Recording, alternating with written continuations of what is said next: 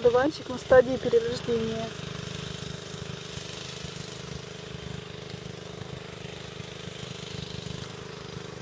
Так выглядит.